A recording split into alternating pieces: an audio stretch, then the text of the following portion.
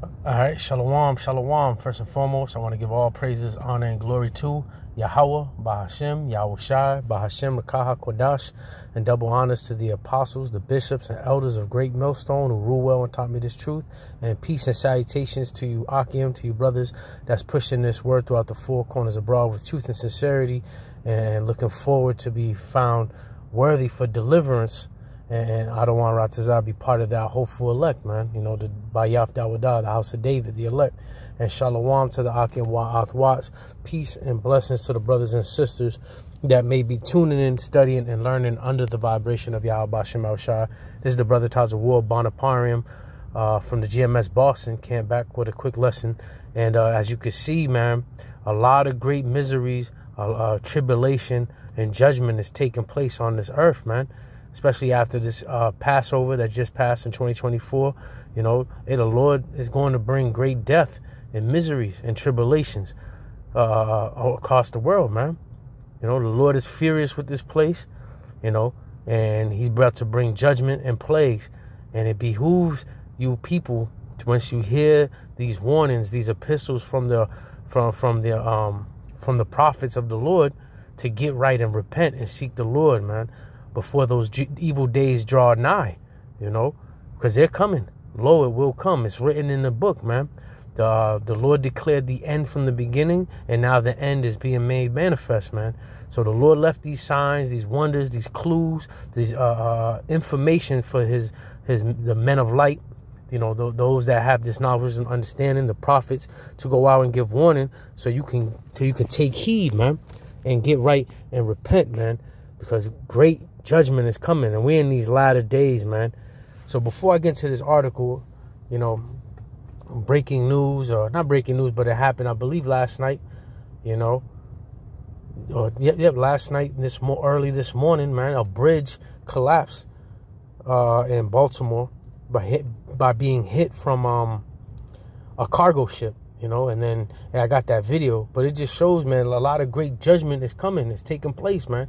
So it behooves you to get right, man, because only evil days is coming, man. So, real quick, let me start at uh, Ezekiel 7, verse, uh, I'll start at 7, verse 1. Moreover, the word of the Lord came unto me, saying, Also, thou son of man, thus said the Lord Yahweh unto the land of Israel, an end. The end is come upon the four corners of the land and now is the end come upon thee, and I will send my anger upon thee. I will judge thee accordingly uh, to thy ways, and, and will recompense upon thee all thy abominations. And my eye shall not spare thee, neither will I have pity, but I will recompense thy ways upon thee, and thy abom- and thine abominations shall be in the midst of thee. And ye shall know that I am the Lord Yahweh, and thus said the Lord the Lord Yahweh, in evil in only evil, behold, is come. An end is come, the end is come. It watcheth for thee, behold, it is come. Amen. so we in these latter times, man, in these end times, and evil and only evil is coming, man. And the Lord is not going to spare you know, or have any pity on, on, on, mainly the children of Israel, you so-called Negroes, Latinos, and Native Americans that don't get right and repent. And He's not having any pity or sparing lives of these heathen nations. Again, the Lord is furious. He's about to bring his judgment and, and, and recompense his um you know his anger, his indignation, his righteous anger upon the world, the four corners of the land. And great judgment is going to take place. And we in these latter days, man. We're in the time now where the uh, the Lord's about to to to to to to to visit the world which He made, man. You know, He's about to pour out His anger. And he's showing it through these tribulations, through this chaos, through great death, you know. So I got this article again, endtimeheadlines.org. And again, an end and only the end time has come, man. Several missing after ship strikes triggers Baltimore bridge collapse. The Francis Scott Key Bridge along I 695 in Maryland collapsed into the Baltimore harbor following a ship strike early Tuesday morning setting off a search and rescue mission for those inside vehicles that plunge into the chilly waters. A live stream of the bridge appeared to show a cargo ship colliding with the support beam, causing the bridge to break apart and fall into the uh, the Patapsco River. Official says upwards of seven people are missing and that two had been pulled from the water. Multiple vehicles were on the bridge at the time, but no update on casualties has been offered. Hey man, this is this is hey judgment, man.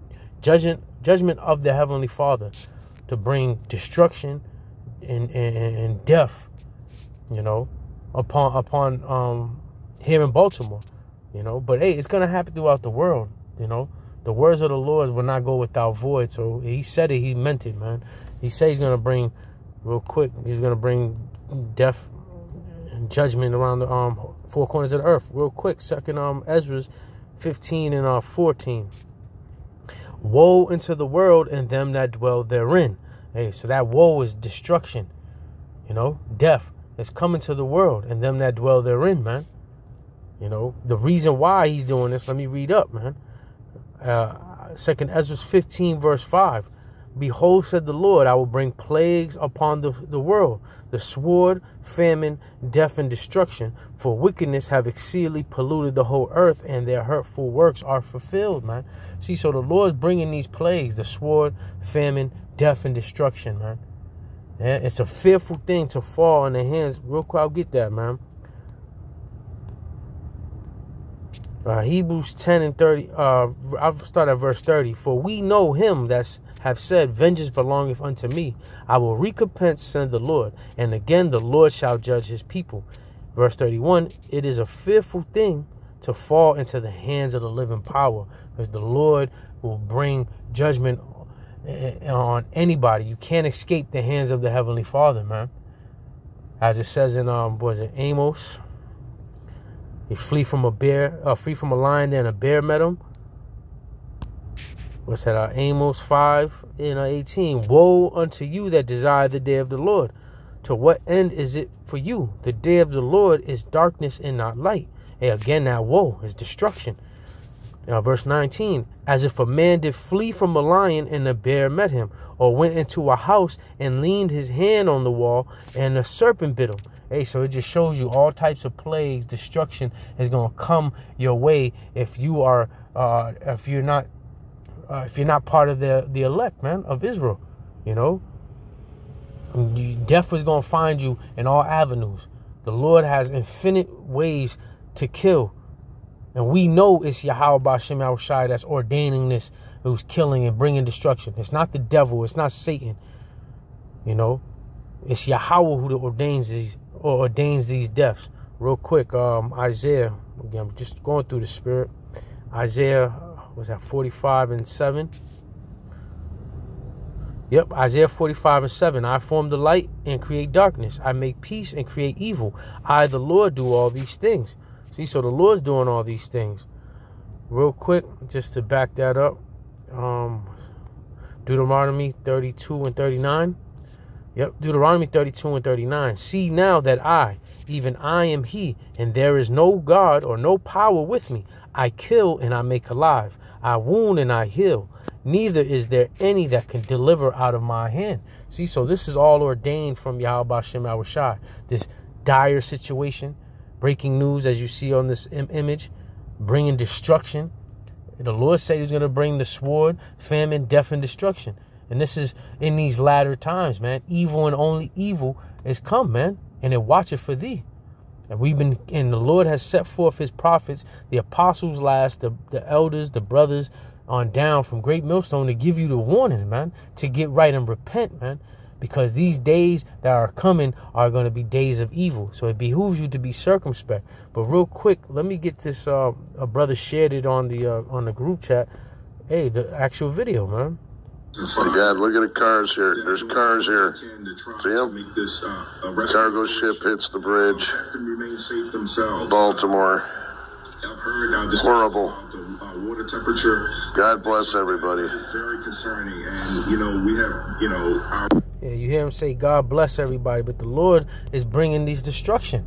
I just read in Deuteronomy that the Lord kills and maketh alive. He heals any wounds. He, the Lord, does all these things, man.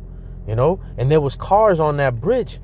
You know, in the report it says roughly seven uh, people may be missing, or, or, a few cars was on that bridge. Hey, they they and you know that, that water is freezing, so they, they the Lord probably drowning them, you know, and brought destruction to them that way, man, you know. And this is it's a fearful thing to fall in the hands of the living power, man, you know. And there's none that can deliver you out of the hands of Yahweh Shai. You know, and this is why we're here to give you warning to get right and repent, man. The Lord is not to be mocked. The Lord is not to be taken lightly, man. It behooves you Israelites again to repent and seek the Lord ten times more, man. Because the days that we're embarking on are some deadly times, man. Judgment, evil times, man. It's not about love and peace. We're not in the time of that. When you read in Ecclesiastes, the third chapter, the Lord set times perfect. There's a balance, man. And we're not in the time of love and peace. We're in the time of, of, of hate, time of war, this time of great death, miseries, gnashing of teeth, tribulations, trouble. And we're here to give you that warning, man. So it behooves you to get right and repent, man, and not and and, and don't fall for the smooth sayings or the everything's gonna be all right uh, uh, doctrine from these other people that claim that they're prophets, man. They're false prophets. They're not warning their people about the sword or about the famine or about the plagues or the potential great death and misery that's coming on the earth, man. You know, you can't, you got to uh, refrain from those quote unquote, well, not quote unquote, you got to refrain from those false prophets that just push prosperity or love and peace and happiness, man. We're not in them times, man. It's time to get right, man, and be circumspect. Uh, Ephesians chapter 5, verse 14. Wherefore he said, Awake thou that sleepest, and arise from the dead, and the anointed, Yahweh Shai, shall give thee light. See then that ye walk circumspectly, not as fools, but as wise, redeeming the time because the days are evil. Wherefore be ye not unwise, but understand what the will of the Lord is. So you have to understand, you'll be considered wise if you understand and being circumspect and paying attention that that that this has been brought from Yahweh Bashem Yahushai. You know, evil days is coming. So it behoove you to get right and, and try to repent and seek to please Yahweh Bashem Yahushai. Do not want to be in the crosshairs or be part or be partakers of the judgment of of the uh, of Babylon or the judgment of the wicked of, of Esau Edom, man. You know, the days are evil. You want to walk circumspectly, you know. And this is why, you know, we we push forth these lessons. We see what's going on through these articles. And you know, some scoffers may say, "All you all you guys is pushing is death or pushing hate." Hey man, it says or we're pushing fear, we're fearmongers, or this, this, and that, and the third. Hey man, it says, Let not the incredulity of them trouble thee that speak against thee, for all the unfaithful shall die in their unfaithfulness. And that was second Esdras, the 15th chapter, the third verse, and the fourth verse, man. We don't care what you naysayers say, man, or you're unfaithful. Being unfaithful in these times is going to just lead you to being put to death, man. You know? We're here to give you warning to save your lives, man. To wipe the blood off our hands, because that's our uh, our job. The Lord ordained us as a prophet to give warning to wipe the blood off our hands, man. Get right, man. The days are evil that is coming. Judgment is coming. We're in the beginning of sorrows. The Lord, the Lord left these signs and wonders, these clues again that that we can uh, indicate what times we're in, man, and we're in them end times. So, um, yeah, you could say we fearmongers or we're pushing forth hate. Hey, man, just seeing that video of that bridge collapse, it's a fearful thing, man uh, 2 Corinthians 5 and 11, and it reads, Knowing the terror, the terror, Salakia, knowing therefore the terror of the Lord, we persuade men, but we are made manifest into the Most High, and I and I trust also are made manifest in your consciousness. See, we know the terror of Yahweh Shem Shai. The Lord, hey, the Lord has all type of avenues and infinite ways to kill, you know, the wicked, you know, so it behooves you to, to take heed, to fear Yahweh Bashem Yahushua, because that's the beginning of knowledge and understanding. What's that? Uh, Proverbs 1 and 7. The fear of the Lord is the beginning of knowledge, but fools despise wisdom and instruction. You'll be only considered a fool if you're not understanding that this is the will of Yahweh Bashem Yahushua to bring judgment on the earth. You know? To bring plagues upon the earth. the reason why this world is decaying and the love of many are waxing cold and there's just so much calamities and epic uh, uh, uh, tragedies of biblical proportions you'll be a fool to not understand that this is judgment of the lord you know you'll be a fool not to, to try to get right with the heavenly father and his only begotten son you know you'll be considered a fool man you know again knowing the terror of the lord we persuade men the times that we that are coming are evil times, man. We're in the beginning of sorrows, as the scripture says, man. What's that? Um, Second Esdras 16 and uh, yep, Second Esdras 16 and 17. Woe is me, woe is me. Del- who will deliver me in those days? Again, that word woe is destruction, man. Chaos and destruction, death, miseries, man. You know, Verse 9, uh, 18 the beginning of sorrows and great mournings, the beginning of famines and great death, the beginning of wars, and the powers shall stand in fear, the beginning of evils. And what shall I do when these evils shall come? Behold, famine and plague, tribulation and anguish are sent as scourges for amendment.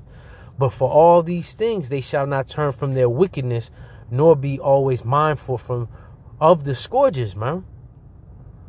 Behold, victuals shall be so good cheap upon the earth that they shall think themselves to be in a good case. And even then shall evils grow upon the earth. Again, bad times, that's evils. Uh, sword, famine, and great confusion. For many of them that dwell on the earth shall perish of famine. And the other that escape the hunger shall the sword destroy. And that kind of goes back to what I read in Amos, the fifth chapter, man. If you think you could flee a bear, I mean, Salakia, flee a lion, that's a calamity. That's you're facing death. And, hey, you may be able to flee that calamity, but then you were met with a bear.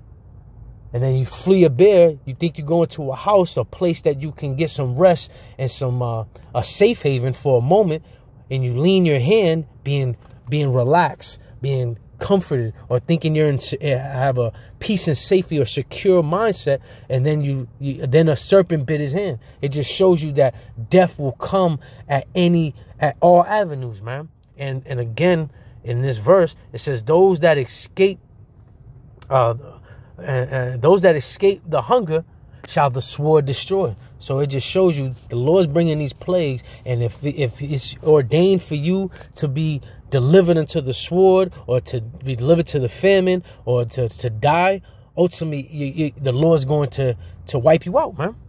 And verse 23 And the dead man shall be cast out as dung, and there shall be no man to comfort them, for the earth shall be wasted, and the cities and the cities shall be cast down, man. Hey, man, great judgments coming. The Lord's casting down uh, uh, uh these cities, mainly here in America. He's got to bring way more chaos, way more miseries, and way more bad times, evils, man. As we as I read, man. So with that, man, I pray everything was edifying. It behooves you again, real quick before I end this lesson. Again, once you hear these these these warnings, these epistles, it behooves you to get right and seek the Lord, man. So I'll close out with this. Got to go back into the plantation. Ecclesiasticus chapter 5, verse 7. Make no tarrying to turn to the Lord, and put not off from day to day. For suddenly shall the wrath of the Lord come forth, and in thy security thou shalt be destroyed and perish in the day of vengeance, man. So it behooves you to to be to once you hear these warnings, these epistles, these articles, to get right and repent, man. This should be important to you. You know, you don't want to tarry. You don't want to put off from day to day. You don't want to think that, oh, well, that happened in Baltimore. That's not happening here in California because there's, there's, I've done lessons where uh, earthquakes have hit California, so on and so, you know, or, or, or hurricanes have hit Florida. Just because it didn't happen in your state, your city, you know I mean? Don't think that you're in a good case, man. Because the Lord is going to bring judgment throughout the whole world, as I read you know, and mainly here in Babylon the Great, aka America, man.